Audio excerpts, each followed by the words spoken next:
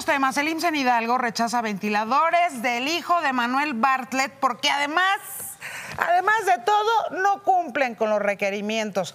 La dependencia informó que tras una revisión realizada el pasado 8 de mayo se detectó que carecían de pantalla táctil como se, era, pues, se había requerido. Los 20 ventiladores que se compraron por 1.5 millones de pesos cada uno serán devueltos a la empresa Cyber Robotics Solutions propiedad de León Manuel Bartlett, el hijo de Manuel Bartlett, el director de la CFE.